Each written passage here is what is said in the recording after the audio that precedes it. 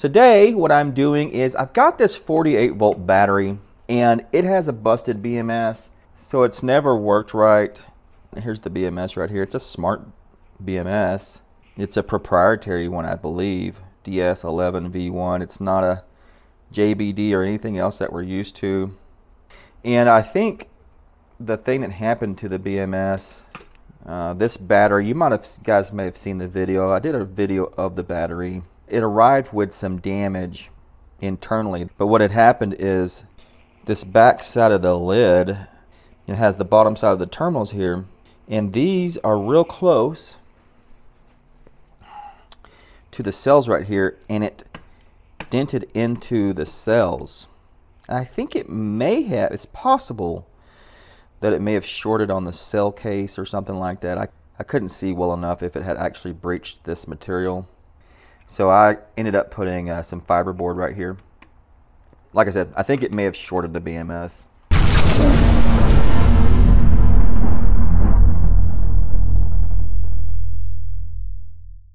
So I'm putting this JK BMS on. All I'm doing is I'm taking the existing balance wires and I tucked the headers off. I desoldered the headers from this BMS. There's one right here. I'm just soldering the wires that came with the JK onto those headers. And yes, I'm, I'm actually just leaving the length of the wire the way it came stock because I don't really want to cut it up. I might use it for something else. I've got this one connector already soldered up and I've got heat shrink all around it. So hopefully we're not going to get any kind of shorts. I did hold it up to the sunlight and I could see light through each, between each pin. So we should be good to go. Uh, so now I just got to solder up this last bit and then we can put the BMS in. So let me fire my soldering iron back up. And this actually will be the first time I've used a JK BMS. I've heard such wonderful things about them, but I've, I've never had one. And this one was sent in, it was donated to, uh, I created a driver for the Victron Cerbo GX, the open source one that people load on a Raspberry Pi. That driver works with Bluetooth JBD BMSs. And uh, people were asking for me to implement the JK, the Bluetooth JK. So this was sent in, it was donated to serve that purpose. So we're actually going to get this battery working again, and then I'll have a JK BMS to where I could finish that driver. so tinned the wire. We'll put a little piece of heat shrink on. And then we can go ahead and solder it up to the connector. I gotta tell you, this is not the easiest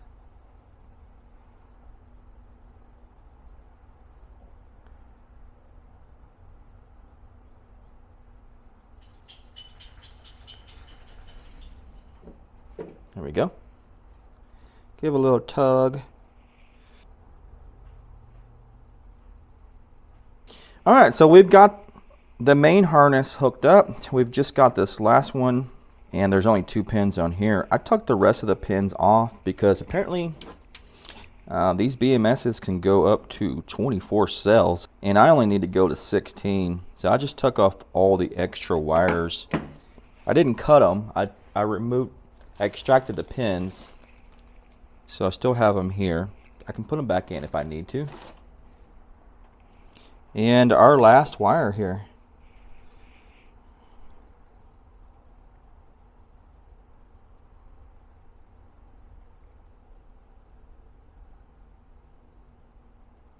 Yeah, everything's on. So we'll put the heat shrink on now. Alright, so there's our heat shrink we just need to shrink it. Um, this last pin on this header and the other header here is not connected, so don't think I'm missing one there if you see that.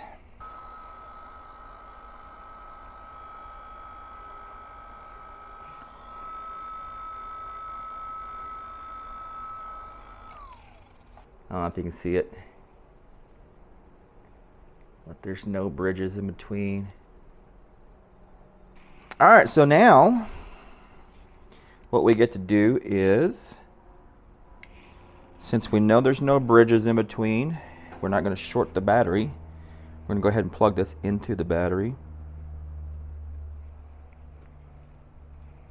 There we go. And what we need to do now is take these two connectors and they're going to plug into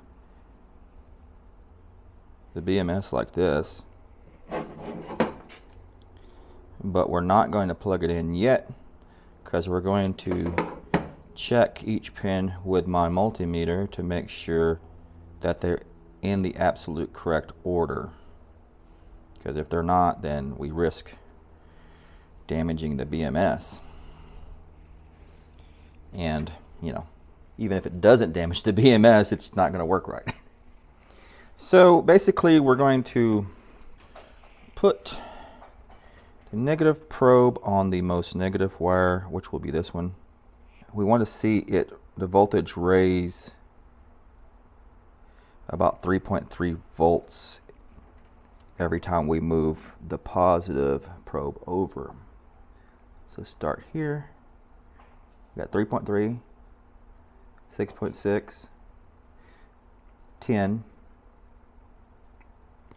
13.3, 16.6, 20, 23.3, 26.6, 30, 33.3, 33.6, 40, 43.3, 40, what happened here? 46.6, okay. So now I've got two connectors. I've got to still hold this on the negative. and then I've got to connect this. So the last one was 46.6, right? So this one should be 50, I think. Yep, 50. And then we should have 53. There it is, 53.3. All right, they're all in the correct order.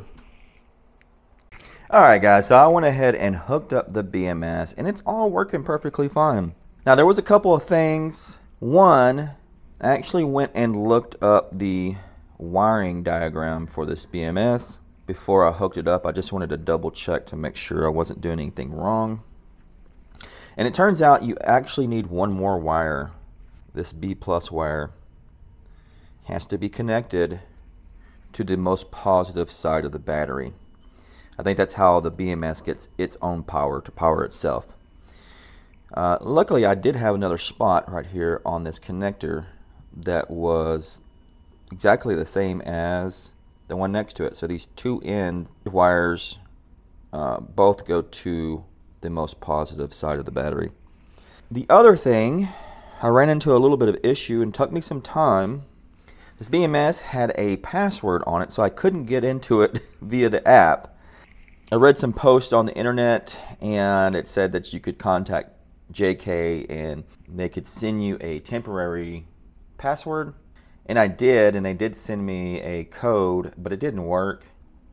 And I think that's because you have like a time frame that you have to use it, like maybe 10 or 15 minutes.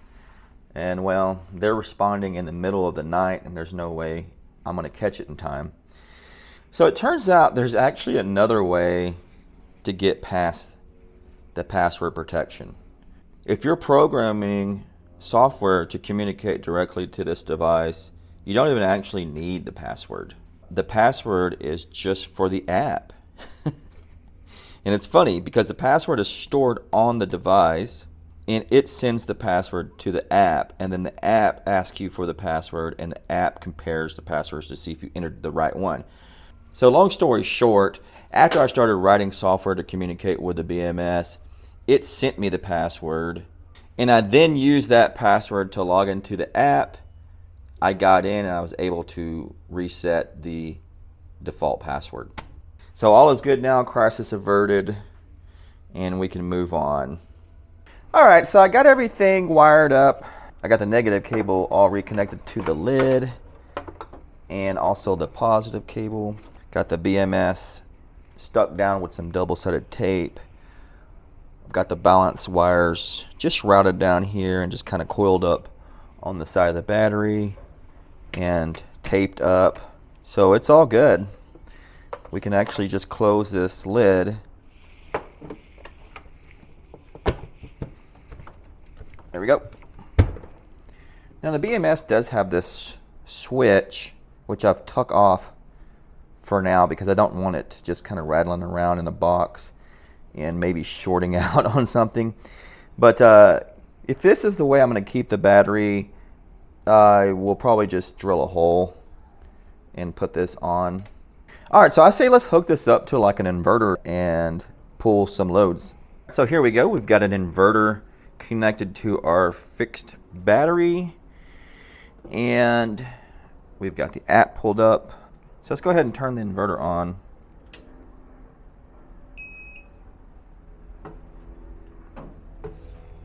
Okay, it's booting up there. Alright, looks like we've got AC on the output terminals. Discharging at 0.2 amps, so that would be the idle consumption of this inverter. Let's plug this heater in to pull a load. There we go. Alright, there we go. Now we're pulling 14 amps. 750 watts, 730 watts. Let's see if we can crank this heater up. Okay, now it's on high. We're pulling 1,464 watts. Now this BMS in here uh, is technically a 200 amp BMS. However, it would not be wise to try to use that full 200 amps. This battery was built around a 100 amp BMS. So that means that the the existing wire that's in here, the bus bars and terminals and everything that was used to construct the battery, the cells, was built around 100 amp. We need to go in here and make sure okay well it's already set up to do only 140 out of the 200 but just to be safe I'm just gonna change it to 100 100 is plenty for what I need to do. So it's set to 100 charge and 100 discharge. Actually really should be probably set to 50 on the charge There we go. So we'll do 50 on charge and we'll do 100 on continuous discharge. So if you guys ever do anything like this, if it's just building a battery or maybe replacing a BMS in a battery, you need to stress test it after your work is done. You need to put a heavy load on it and check to see if anything is getting hot. Because you could have a bad connection or just something is not right and you want to make sure nothing is getting hot. And you really want to do that while you're pulling a load that's going to be basically the max load that you're going to use. You know, if this if this battery can handle 100 amp continuous, then you really should put a 100 amp load on it and test it to see if it's getting hot. I always recommend that when you're building anything like this, it doesn't matter if it's a battery or a complete system, don't just put it together and then go, all right, I'm done, and then just start using it without really testing it. All right, so let's go ahead and plug this heat gun in as well. Now we're already pulling 14, 60, close to 1500 watts. Let's see what this guy does. Okay, so we're doing 2040 watts. We're doing over 3,000 watts now. We're pulling 60 amps. So I kind of want to let that run for a little bit. So I can check and make sure that nothing's getting hot.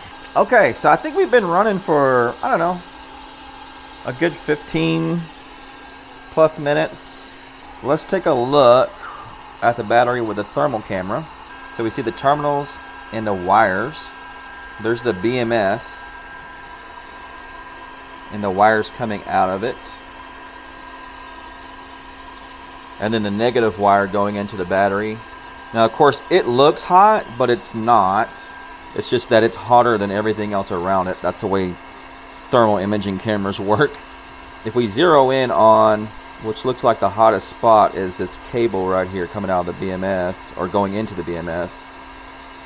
We're showing like 22C, which is just slightly over 70 degrees Fahrenheit.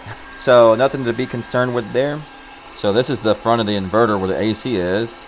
We're actually seeing warmer temps on the AC cable of the heat gun here. Yeah, and it does feel warmer. I think we were seeing looks like 35 C. And if you don't have a thermal camera, you can just use one of these infrared thermometers. Just point it at something. 68 on the wire. So pointing at the wire that we saw in the thermal camera, that's at a little over 70 is showing 68 with this thing. So pretty close. Yeah, nothing in here getting overly hot. Alright guys, so I think that's going to be it for the video. That was a fun project. I definitely do want to get around to some more projects, and I do have more projects. I've got some stuff coming up. So that's it, and I'll catch you in the next one.